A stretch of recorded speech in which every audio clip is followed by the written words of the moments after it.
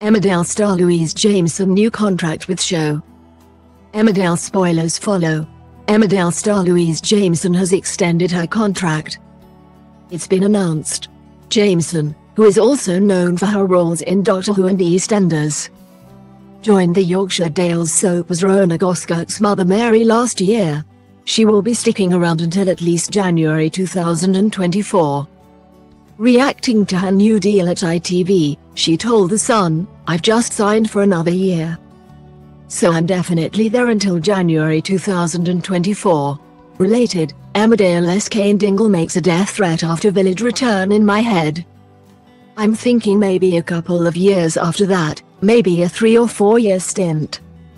But there are people here who have been here 25 years going, yeah, I said that at the beginning. But who knows? They're such a lovely bunch, who knows at the time of her casting as Mary. Emmerdale producer Laura Shaw said, We are absolutely thrilled to welcome Louise to Emmerdale.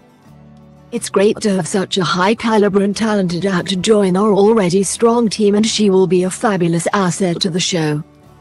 Related, Emmerdale lines up emotional Kyle scenes as he's taken away as far as Mary's future storylines go.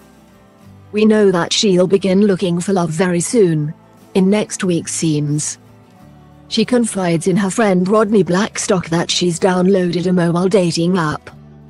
Excited to kickstart a romantic adventure, Mary shows off the app to Rodney, hoping to click with a special someone within the various profiles.